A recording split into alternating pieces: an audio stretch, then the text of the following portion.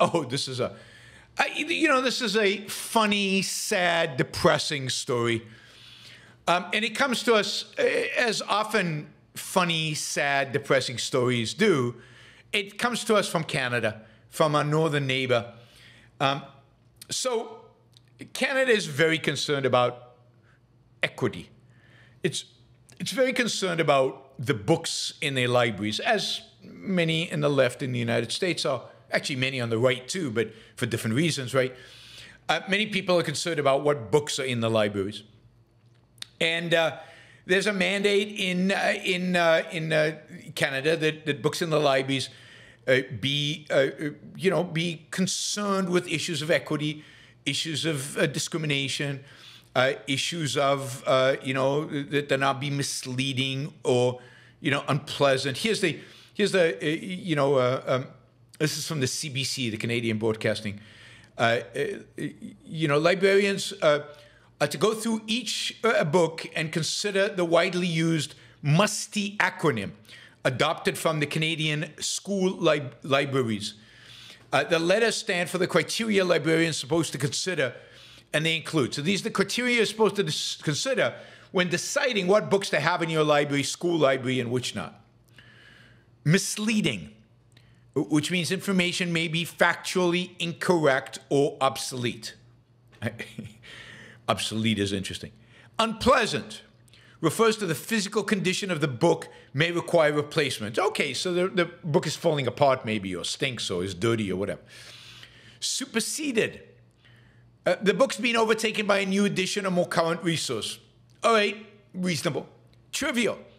Of no discernible literary or scientific merit. Poorly written or presented. All right, I'm not sure uh, you know, what the standards are for deciding that, but okay. Irrelevant. Uh, doesn't meet the needs and interests of the library's community. Elsewhere, the book or the material in it may be better obtained from other sources. But all of this, of course, framed around uh, issues of uh, equity, around issues of uh, not of anti-racism, uh, inclusivity, uh, you know, and, and, and cultural responsiveness, whatever the hell that means, right? So those all have to color everything that is done. Anyway, you know, that's a lot of that's a lot of work. It's a lot of work to go in and and pull out, uh, you know, uh, is. Because it's it's it's it's a it's a very difficult process. You have to go every book and decide so some libraries in, um, in I guess, Toronto, some libraries in, in some school districts have decided on an easier method. They basically decided to look, we know that in the past, authors were, were hyper, like culturally insensitive. They, they were likely to discriminate. They were likely to say offensive things. They were likely just to be to be not sensitive, right? They were because they, they're in the past. They you know this new woke uh, this new uh, uh, ability to really be be sensitized to what is going on in the world is new. It didn't exist in the past.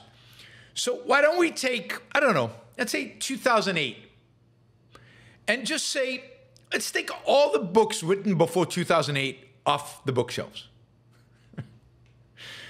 all the books, or at least published before 2008, off the bookshelves.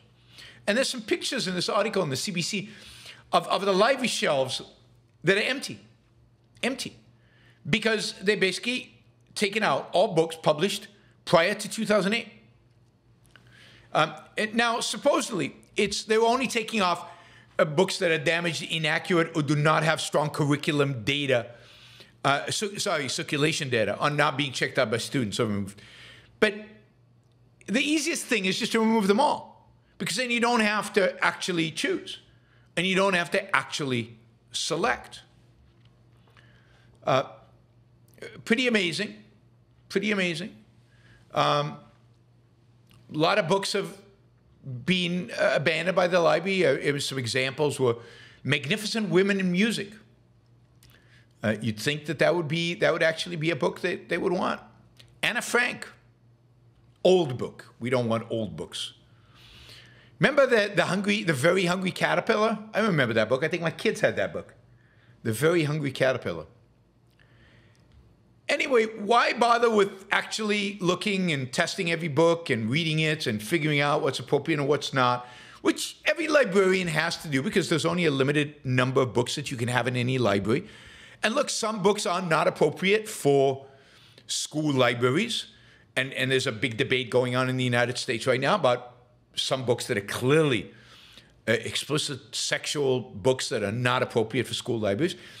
But, you know, it requires real uh, work, it requires real thoughtfulness, it requires real analysis, it requires, and, and look, some of this is going to be biased because different librarians are going to make different choices based on what they consider as good literature, bad literature, what they consider as acceptable, what they consider not acceptable, good condition of a book, bad condition of a book.